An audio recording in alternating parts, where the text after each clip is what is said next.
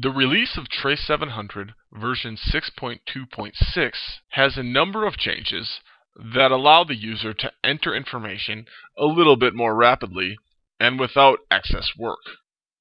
While the program in general appears the same, there are some primary differences. These are located under Create Plants.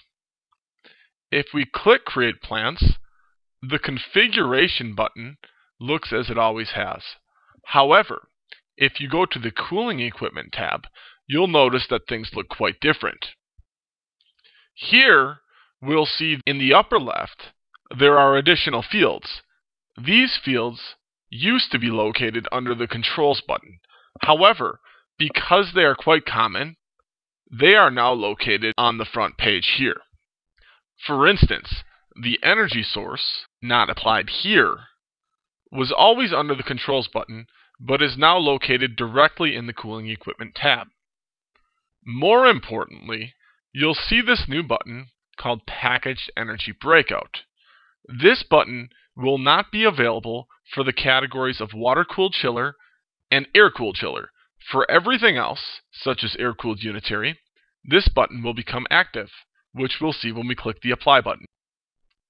And change the units to Packaged COP or packaged EER. In this case, we'll give it a packaged EER of 10 and apply that. Now the packaged energy breakout button is available.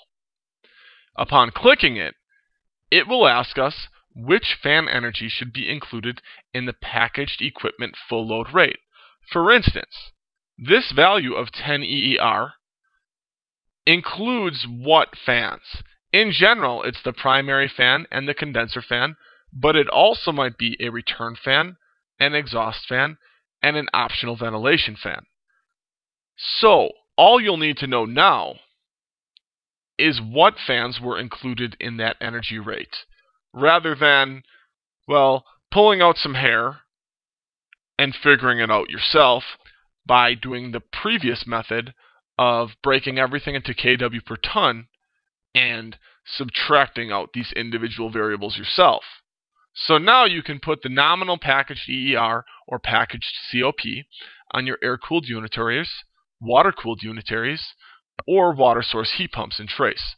So the final option is apply same fans for heat recovery energy breakout calculation. So if this were a heat pump, basically we're saying that the same exact fans apply to the heat recovery. So, those are the key differences in the cooling equipment tab. Please note that no fields have changed besides the energy rate now has packaged EER and package COP and there's an additional button here while some of the fields have moved to the front page of the tab. The heating equipment tab has also changed. The primary change here is that the thermal storage type has been moved to the top of the screen, and the controls has moved slightly as well.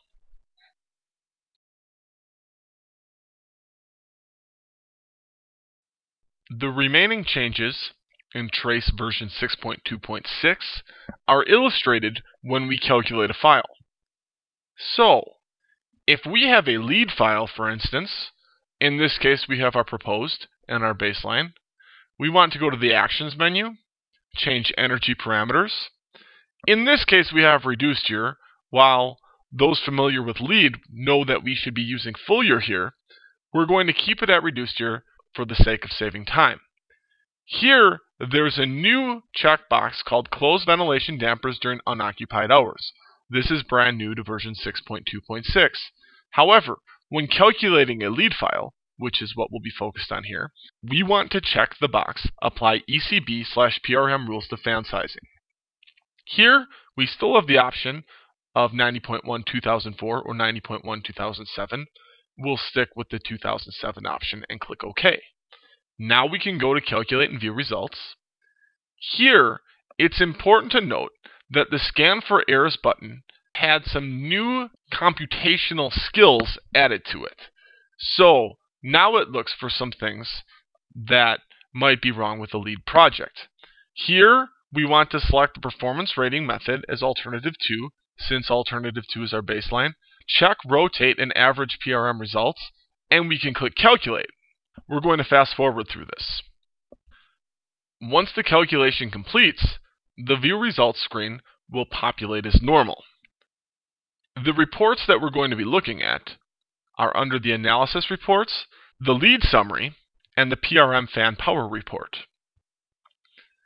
If we go to preview the first time, it will automatically populate the LEED settings with some of the defaults.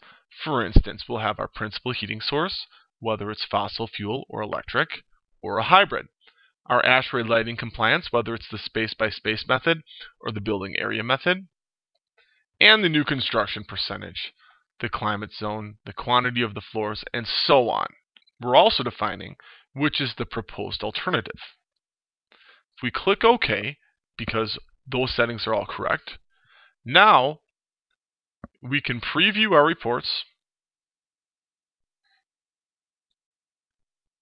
And once the reports load, you'll see that we have a LEED summary report and a PRM fan power details report.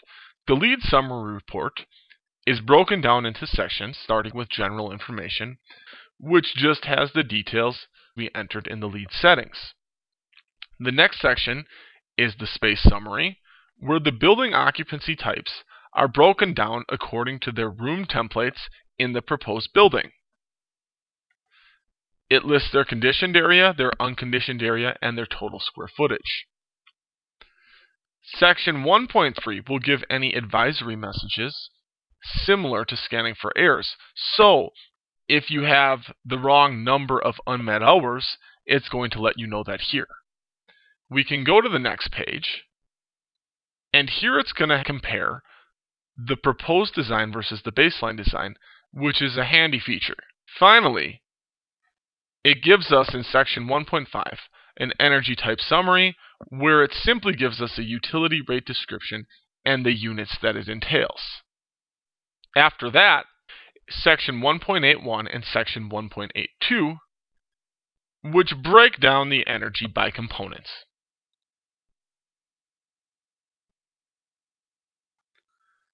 Finally, it takes a look at the baseline energy costs by rotation, and the proposed building improvement over the baseline building is the last thing illustrated. Of course, in this case, we just copied an alternative, so we should not expect much savings.